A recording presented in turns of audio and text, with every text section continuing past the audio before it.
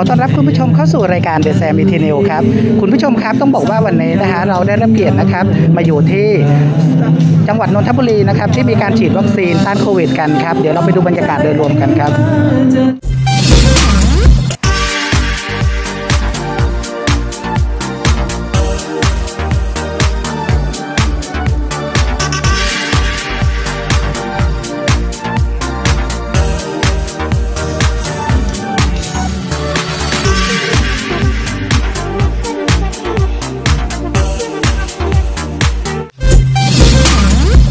คุณผู้ชมนะต้องบอกว่าสถานที่แห่งนี้นะครับ เป็นสถานที่บริการให้ประชาชนออกมาฉีดวัคซีนต้านโควิดกันครับ แต่มากกว่านั้นนะครับ สถานที่แห่งนี้นะครับมีบริการ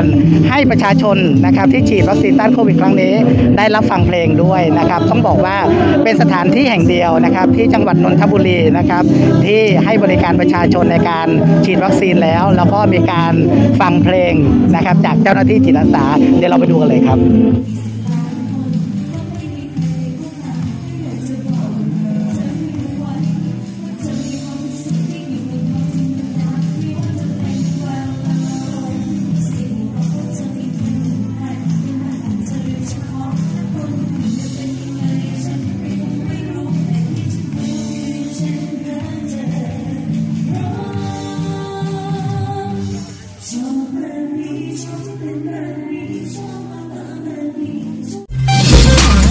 Sorry. ถามความรู้สึกก่อนมารอนานไหมครับที่นี่ ที่นี่อะรอไม่นานอะ ครับ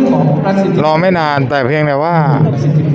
คนมันเยอะอะครับมันเป็นหมื่นมั้งครับ ได้เป็นหครับมื่นทีนี้เราพอฉีดวัคซีนไปแล้วเนี่ยเรามีอาการเอฟเฟกต์หรือว่าเป็นยังไงบ้าง ทีแรกกลัวนะเพราะเราแพ้ยา ครับแต่หมอเขาก็บอกว่ามันไม่เป็นไร ครับทีนี้พอเราฉีดก็ไม่น่าจะมีปัญหาอะไรเพราะว่าเราปกติ ครับ เราไม่มีโรคไม่มีอะไรด้วยอะครับ เราก็ทีแรกก็เสียว ครับถามว่าเสียวไม่เสียวครับเออแต่ก็ควรมาฉีดนะครับครัผบมว่าพูดนะได้ครับ เพราะว่าการทำงานก็ต้องใช้นะใช่ครับ อ่าตัวเราลูกค้าที่เขามาติดต่องานกับเราเนี่ยก็ต้องใช่ ก็ต้องการความปลอดภัยเหมือนกัน คุณผู้ชมฮะวันนี้นะฮะหนูอาได้รับเกียรตินะครับ มาอยู่กับเจ้าหน้าที่อสมนะครับ ที่จังหวัดนนทบุรีคุณป๋าสุชาติของเรานะครับป๋าสวัสดีครับสวัสดีครับผมอยากสอบถามในเรื่องของการให้บริการของพี่น้องประชาชนตรงนี้เรามีความรู้สึกยังไงครับ ครับ ก็ภูมิใจฮะภูมิใจที่ได้มาช่วยครับครับผม แล้วเราเจออุปสรรคกับปัญหาอะไรไหมฮะก็ ก็มีบ้างเล็ก ๆ น้อยๆฮะมันก็ไม่แก้ไขได้ครับ อ่า ได้ครับทีนี้สุดท้ายอยากให้คุณสุชาติเนี่ยเรียนเชิญพี่น้อง ชาวนนทบุรีแล้วก็พี่น้องทั้งประเทศเลยเนี่ยมาฉีดวัคซีนต้านโควิดตรงนี้กันครับ ครับ เออก็ อยากให้ทุกๆคนนะฮะได้มาฉีดวัคซีน เพราะว่ายังไงเข็มแรกก็ช่วยให้เราป้องกันโรคได้ก็เกิน 50%แล้ว ก็อยากอยากให้ทุกคนได้ฉีดนะฮะได้ครับได้ขอบคุณป๋ามากครับ เป็นอย่างไรบ้างครับ คุณผู้ชมต้องบอกว่า